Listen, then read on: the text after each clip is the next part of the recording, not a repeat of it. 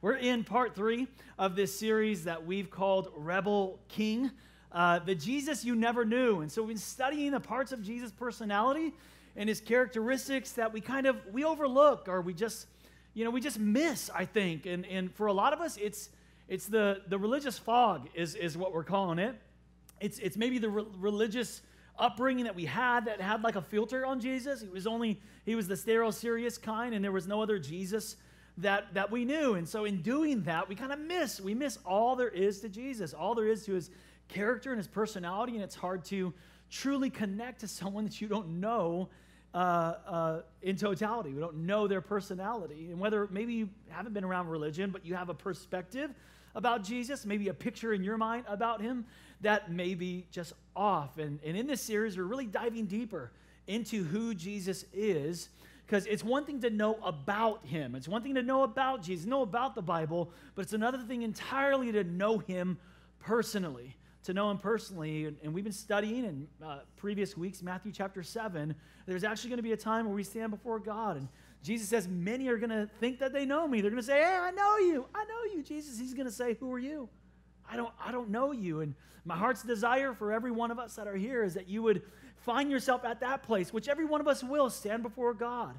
And, I, and my, my desire is that, is that you would hear the words, Well done, good and faithful servant. Enter into the joy of the Lord, your master's happiness. And, and so that's like why a series like this is so important because it's easy to check in and check out, isn't it? Can we be honest? It's easy to check into our Christianity and check out, to check in at church and to, and to check out. And so we need to we need to, re- we need to know the real Jesus, not the picture that's been painted for us, not the, not the preconceived thoughts or ideas that were told to us or that we developed by ourselves, or who knows where they came from. But we need to know the real Jesus because so much hinges on that.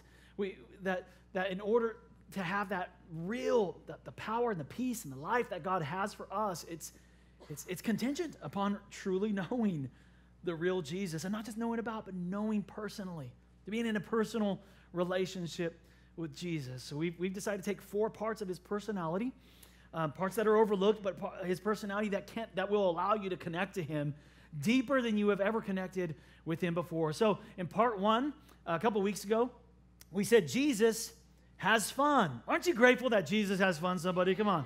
That our God has fun. He actually created fun, He created humor, He gave us a sense of humor even you, all right, even some, he did. It's there. It's somewhere. No, I'm kidding. But it's Jesus. He has, he has fun, man. And so we, we took a look at some of the scriptures like we've done every week and taking a look at the scriptures from a, without the filter that we put on. Serious Jesus, always serious. And we took a look and said, hey, this looks like a, a, playful Jesus here. Could I have been reading the Bible wrong and misinterpreting the characteristic and personality of Jesus that he's actually, he can be playful and he can be fun. That's what we talked about in, in part one. In part two, uh, we said Jesus is human. Another, another aspect of, of, of Jesus' personality characteristic that just is, is overlooked. We forget that he's fully God, yeah, but he's also fully man, and he chose to come to earth and be this way for us that, that, that he would take on all of humanity, empty himself of his divinity, so that he could relate to you and me personally, that he would understand our issues and our hangups. The Bible says he was tempted in every way as we are tempted. It was his choice to be a human so that he can personally be known and known by you. Jesus was, was human, and he is human. Even the resurrected Jesus is still Jesus resurrected. It's, it's still Jesus, flesh and bones and hungry and all. So we studied that last week, and I know that these have been stretching us a little bit to see Jesus differently, but in doing so, again, it's going to help us relate to him personally as we really look at the scriptures without the filters that we've developed over the years. Today, um, not in your notes, but this is kind of this is where we're going, you guys. We're going to talk how, about how Jesus is honest. Jesus is what? Of course, you know that though. I mean, he's Jesus, right? Of course, of course, Jesus is honest. But again, in this series, we're not, we're not just interested in knowing about the honesty of Jesus. We need to know personally and experientially the honesty of Jesus. And, and I'm titling today's message, The Disruptive Honesty of Jesus. It was so essential, important that Jesus would disrupt the status quo of his age because in the time that he was coming in, um, people had gotten so comfortable following the letter of the law that they missed the heart of the law. Amen, somebody?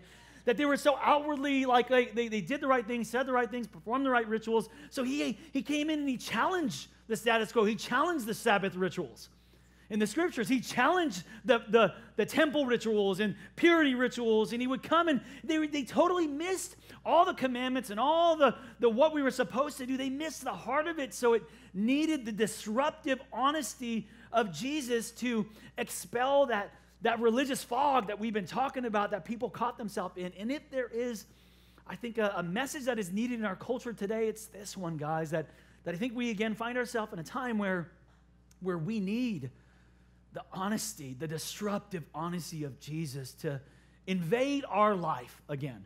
Because we have become so comfortable in our Christianity, we're missing the heart of it, I think.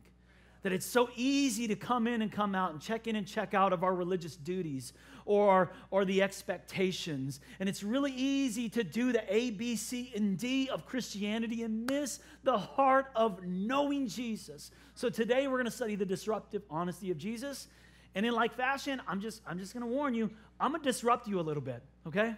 I'm, just, I'm gonna just disrupt. We're gonna look at some scriptures, we're gonna study some scriptures like we've done in this series, and we're gonna look at them without the filter of serious, sterile Jesus, and we're, we're gonna look at the, the disruptive honesty of Jesus in these different instances and see really what it means for us and how we can let that invade and, and, and affect um, our life more. Now, to, before I get into this first scripture, I need you, in order to grasp how wild this verse is, I want you to imagine that you have been invited to the to dine with a royal dignitary. And there's a lot of dignitaries that are there. I want you to just go there with me. Imagine this. Say it's the queen. You've been invited to dine with the queen and all these other royal dignitaries, and you're so excited about it, and everybody's going in, and you're going in, and you're caught up with the palace and looking. But but everyone's like doing their thing and bowing before the queen. But but imagine this that you got so caught up that you just walk right by the queen and you didn't bow. And you just, ah. And then by the time you you notice, because everyone's everyone gasps and all the eyes turn to you in the room, and you notice like, oh my gosh, I missed something. There was a social norm that I that I that I missed. What would you do? What would you do in that in that moment? Because that happened to Jesus. That happened to Jesus. Let me, okay, in, in, in Luke chapter 11, here's what it says in your notes. When Jesus had finished speaking, a Pharisee invited him to eat with him. Now, the Pharisees were religious leaders of their time. This was a prestigious thing to come into the home of this religious leader. So he went in and he reclined at the table. But check this out the Pharisee was surprised when he noticed that Jesus did not first wash before the meal. This was something that was customary for centuries, is what you do. Before you go into the house, you sit at the table, you wash your hands, and then you go sit down. And then it says, The Lord said to him, Now then, you Pharisees clean the outside of the cup and dish, but inside you're full of greed and wickedness. Okay, look at, I mean, come on. Jesus says some funny things, right? He's got some, and this is why we, I love Jesus so much because he says, he's so courageous. He says the things that everyone else is thinking. You know what I mean? He is just honest. Jesus, listen, has entered this man's home.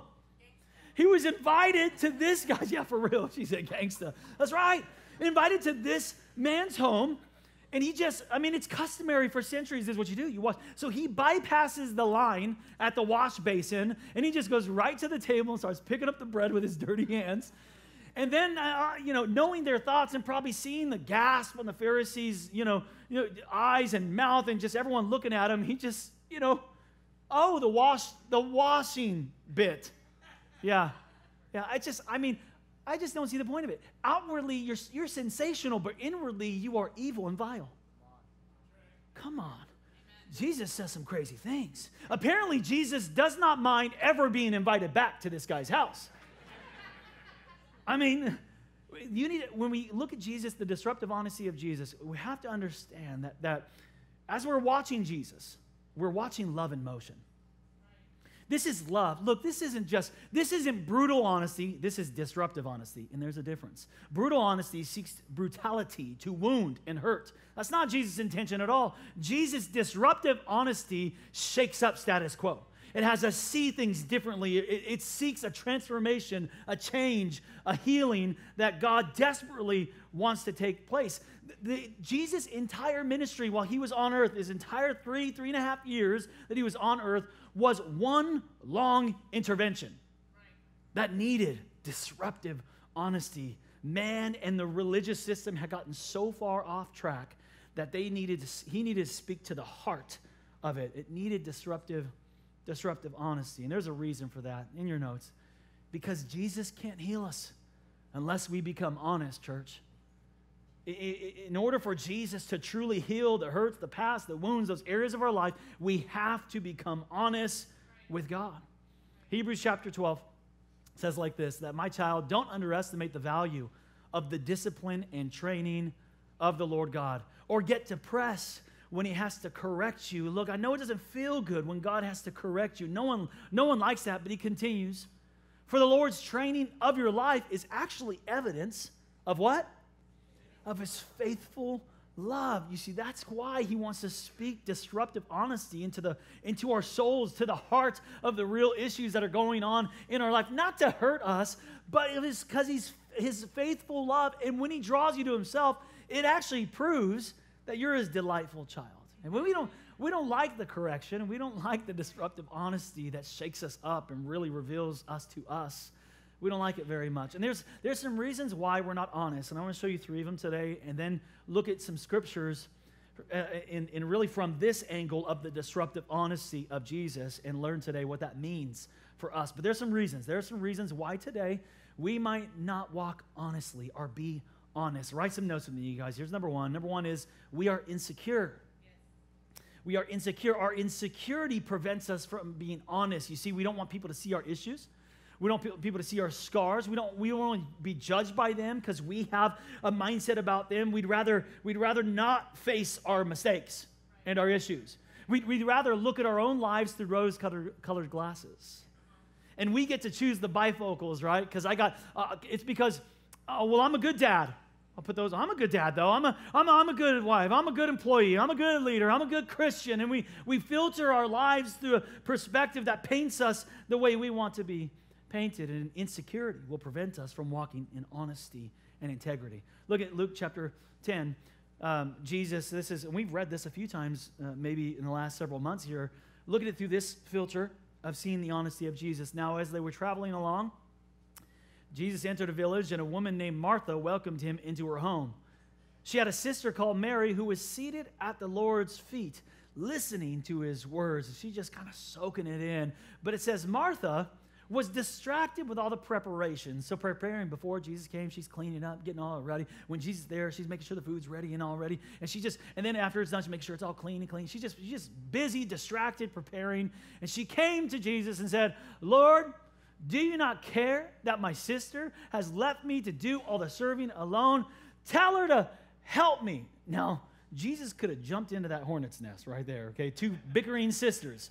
He's, he's wise enough not to jump right into that, but, but check out the wisdom and the disruptive honesty. It says, But the Lord answered her, Martha, Martha, you are worried, worried and upset about many things.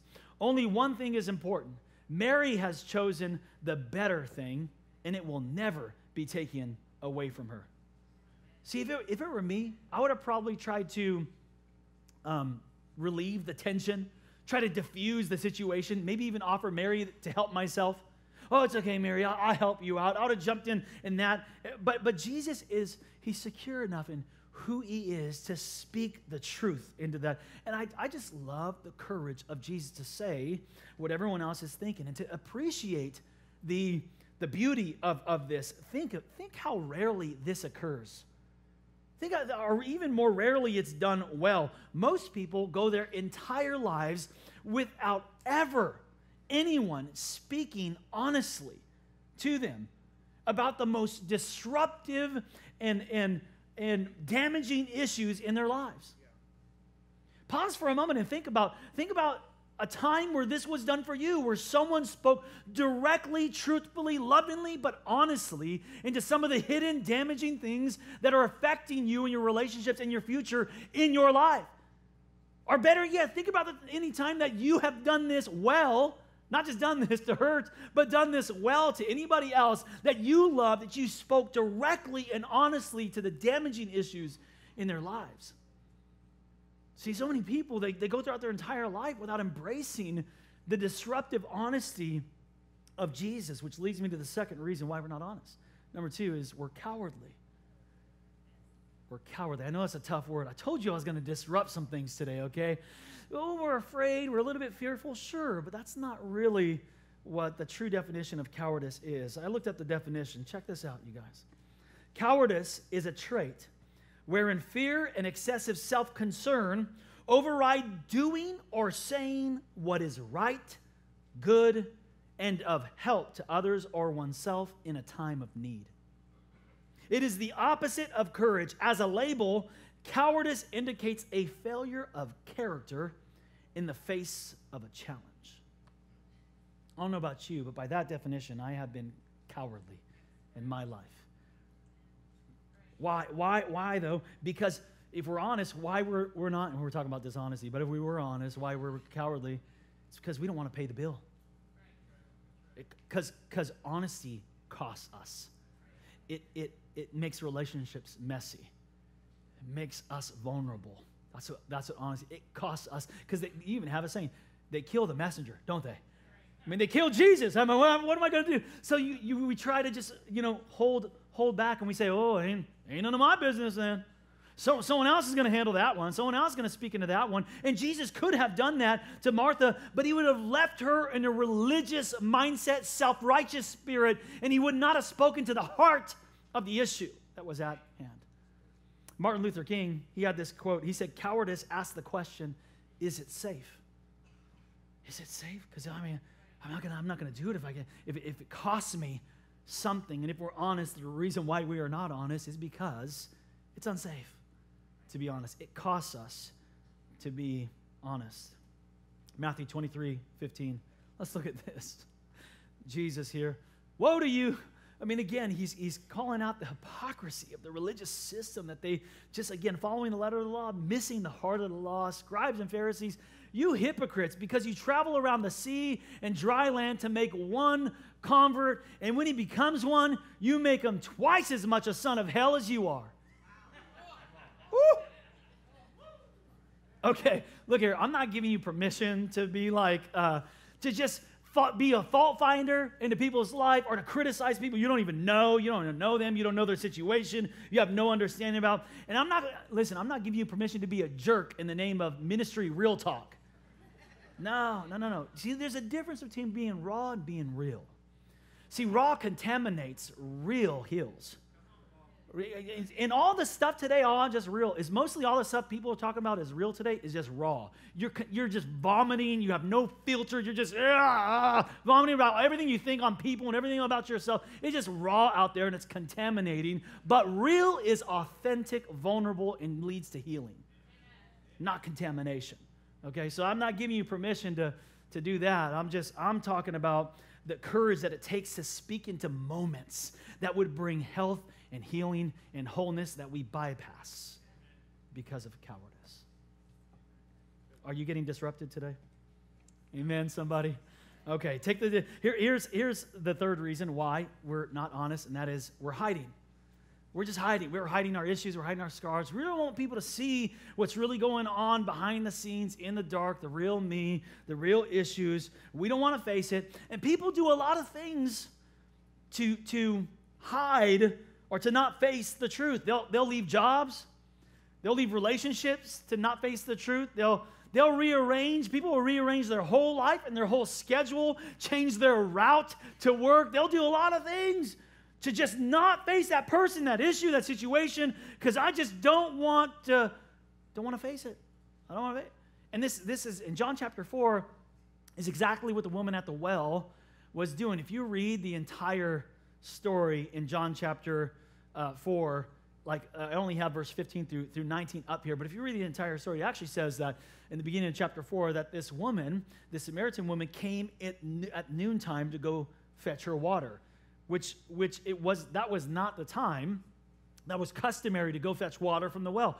everyone would go in the morning. All the women in that culture would go in the morning because it was not under the noonday sun, where not only it was hot for them to make the trek and the back and forth with the, with the water, but the water itself was at a different temperature at that time as well. So everyone would come at the morning, but she was hiding from people. She didn't want to see some of those women for some reason we're going to find out but she didn't want to have interaction with these ladies so she was in hiding and came at a time where no one would come because because she didn't want people to see. And jesus is there reclining or sitting at that well and he has that interaction with her that he says hey if, if you were to drink of living water you'll never thirst again. He says, I have living water. And then the woman said to him, Sir, give me some of that water so I won't be thirsty again and I won't have to keep coming back here and talking to these women. These women don't like me. I don't ever want to come to this well again. Give me some of that water. I'm just, I want to be done with this well. And he told her this Go call your husband and come back. I have no, no husband, she replied. Jesus said to her, You're right when you say you have no husband. See, the fact is, you've had five husbands. And the man you have now, that's the reason why you don't want to come during the morning because that woman that you stole him from will slap your face. the man you have now ain't the man. He's not your husband either. What you have just said is quite true, sir, the woman said. I can see that you're a prophet which is funny. You read that, you continue to read it. What she does, she goes, she's just get she got disruptive honesty of Jesus, spoke right to the heart of her real issues that she's hiding from. And what does she do? Oh, you must be a prophet. And then she, you got to read the whole, she goes, hey, you know what? The Jews worship on this mountain, and Samaritans, we worship on this mountain. She has a theological discussion with Jesus which is so funny to me. She just got called out, disruptive honesty, and she's all, oh, wow, let's talk about the Bible. But let's talk about the Bible. I just I wonder how many people fit that bill where you come in, in and out. You want to talk about the Bible, but you don't want God to reveal you to you. Oh, come on, somebody. Amen. I mean, we need the disruptive honesty of Jesus to shake up our lives. Again, you guys, we need it. We've missed it. Could it be we got comfortable in our Christianity like they were comfortable in their law abiding, you know, system? Just missing the heart of it. And, and, and at the heart of it, even, even the law itself, the law was not, the law was given as God was trying to implement and institute a moral code. God said he was trying to reveal his heart to his people. Look here, Exodus chapter 20 is, is the list of the Ten Commandments. The ninth commandment has to do with what we're talking about today. He says, You shall not give false testimony against your who? Your neighbor. Now, your neighbor in the Bible, anytime it says your neighbor, it's not really your neighbor, neighbor. Jesus was asked, hey, what's the greatest commandment by some religious leaders? And He said, love the Lord your God with all your heart, soul, mind, and strength, and love your neighbor as yourself. And then they asked him the question, well, who is my neighbor? And then he told the story of the Good Samaritan. You remember the story of the Good Samaritan? Amen? You guys awake? Come on. Amen? so, and then, but they, Jesus says, your, your neighbor is anyone you come in contact with, anyone you come past, that's your neighbor. So, look, I'm not as concerned, and I don't think God is as concerned, although He was implementing a religious code, a law that they would practice and did practice. But I'm not as concerned for you that you would lie under oath in the you know in court, you know, in a murder case or something like that. But I am concerned that many of us violate the heart of this law, the principle of this law. And the principle of this law, I believe, is the principle of honesty. That what God was trying to, to show us was his heart, was his character. He was trying to put within us the heart of God, this, this personality of Jesus, this honesty. And I think God's trying to, he's trying to disrupt some things in our life if we let him. I was, I was um, going through this men's Bible study years ago. It was, it was, like a character study, and there was a survey in the study, and it would ask us yes or no questions. And, and one of them was like, you know, do, do you have anyone you need to forgive? Yes or no? And, and there wasn't anything else. It was just yes or no. So, so one of the questions was, do you have any impure sexual thoughts? Have you ever had any? And it wasn't, there was not sometimes, once, you know. It was just yes or no. So it, one of the questions it had, I, I want to show you in this, in this character study, it, it asked this question Are you a liar? I'll be honest because I was ready to answer the question, Are you a liar? But then I saw, Be honest. And it didn't have sometimes or once or anything. It was just like, yes or no, what are you? And I had to have a heart check there. Because do you any do you ever exaggerate the truth? Do you ever stretch out? Do you ever tell a story that favors you in the end a little bit more than it probably should? I mean, we gotta, I think we have to let the disruptive honesty of Jesus affect our life. We gotta come to the place where we get honest. So, what I wanna do today is give you three simple ways to develop honesty in your life to a greater degree that, that, that probably you have, many of us have ever had before. Three, th- three ways, you guys. Here's number one, and it has to start right here. Number one is we have to be honest with who? With yourself. Be honest with yourself. I told Veronica that this, when I was preparing this message, that this is probably one of one of the harder messages that I preached because, because dishonest people are dishonest. Meaning, like I could be preaching about honesty, but dishonest people have convinced themselves that they're not dishonest. I even told her, I said, I can't even help dishonest people. I can't help them. You can't, I, I, because, you know, you work with, I work with dishonest people. They're like, you can't pin him down on anything. It's, he's always got an excuse or no, no, no. He's always got a reason. Why? It's not me or it's not that. Look, and I want to tell you something. I, not only I can't help you, but God can't help you. God cannot help you unless you become honest. And what I've figured out, the problem is, is what I found is that people, they they have so much hurt. They're so, they have hurts and they have wounds from their from their past that they really haven't received healing yet from God. And so it almost makes them to where they have to be dishonest because they don't face the issue. So if I'm not going to face the issue, I have to be dishonest. And I'm telling you, if you can't be honest about your mistakes, you'll never be free. If you can't be honest with yourself, you'll never be free. A while back, someone on, on our staff here at Discovery, they, they made a mistake and they said, they, they owned up to it quickly. Pastor Jason, I missed it. I missed it here. Um, but here's what I'm to do about it. I'm really sorry, but here's, here's what I'm to do about it. And I said, hey, thank you so much for owning up to that. You got to be, a lot of people don't, but thank you for doing that. But here's, let me tell you something. I told, I expect you to make mistakes. Like you're to, you're to make mistakes. You're going to miss it at times. And there's two reasons. Because number one, you're growing, just like all of us. And number two, you're human. And, and I've noticed something in pastoring for so many years is that humans tend to make mistakes. they just do. And until we kind of can come to terms with that and be okay with that and get honest with ourselves, then we'll never really be free. Psalm 51, verse 6 says, God delights it when you're honest with yourself. When truth reigns in your inmost being, we have to learn to be honest with ourselves. And until we get to there, just step one honest with yourselves, uh, you can't really move any further. God can't help you, I can't help you, and nobody can help you until you become honest with yourselves. But, but when you do, if you can do that today, and I really hope you do, and I hope this disruption doesn't cause you to go into a hole, but shake some things up to allow stuff to come to the surface. Because if you can if you can be honest with yourself, then you can do number two, you can be honest with others. You can be honest with others. Have you ever been talking with someone and they say, Well, to be honest with you, what? Where were you? Were you before? Or, or, or this, or have you ever heard, well, now, let me be honest with you. Now, now we're going to be honest? Okay, good to know.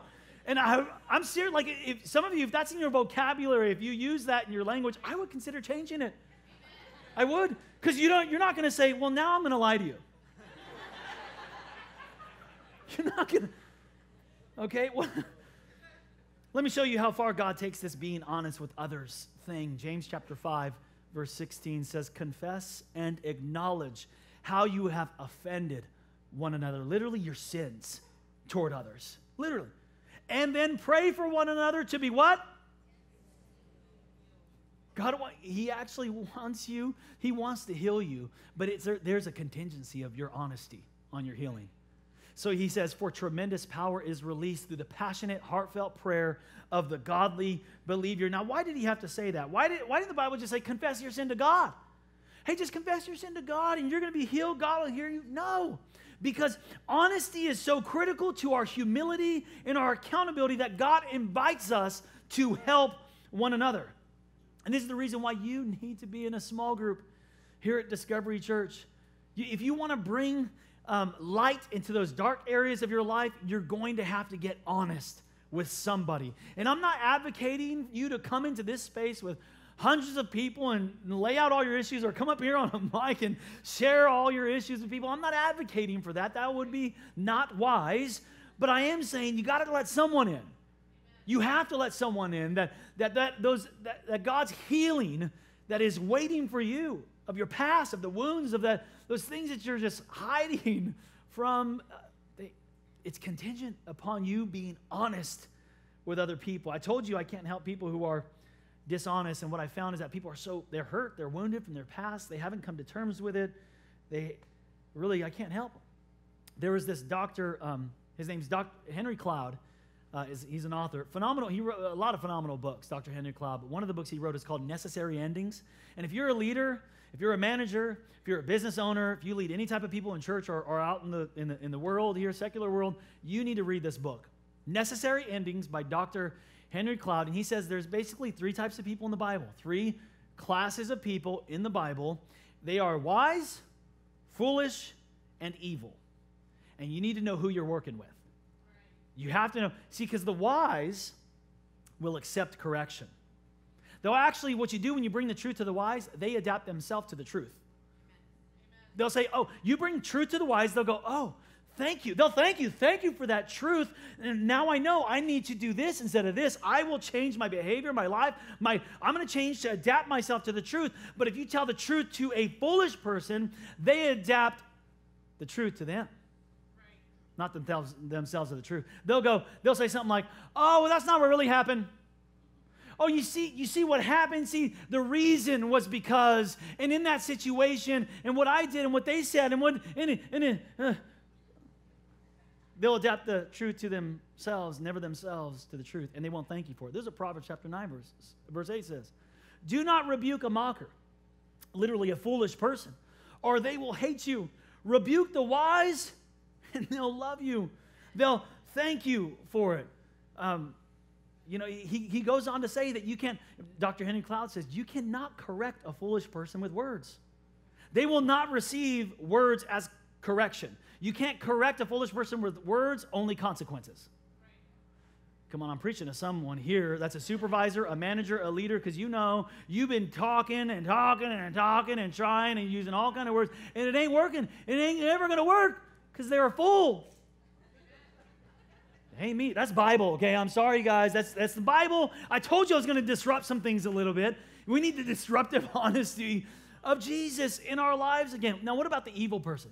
What do we do with that? You got wise, you got foolish, you got, you got evil. What do you do? Titus chapter 3, verse 10 tells us that warn a divisive person and evil. See, the Bible says that divisive people are evil. The people who divide homes, divide loyalties, divide families, divide relationships, divide churches, divide leaders. those divide, he says, what are you going to do? Warn a divisive person once and then warn them a second time. After that, the third time, have nothing to do with them. You cannot help an evil person. You can't help them.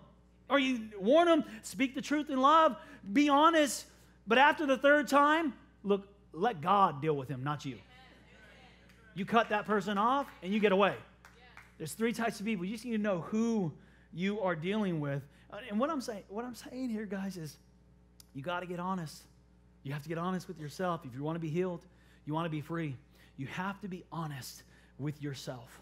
And then after that, after you're honest with yourself, you can be honest with others. You can let some people in, man. Get into a small group here at Discovery. Build some relationships, some trust, and let some people in and see the real you and what's really going on, or else you'll never be healed. You'll never be free. But then if we can do that, then we can then we can do this third one, which is really the most important, is to be honest with God. To be honest with God. Can you imagine how God feels when you're dishonest with him? I want you to think about that.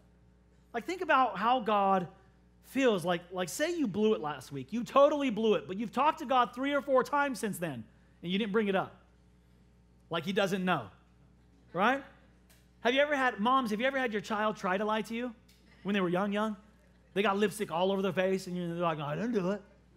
Have you ever had that?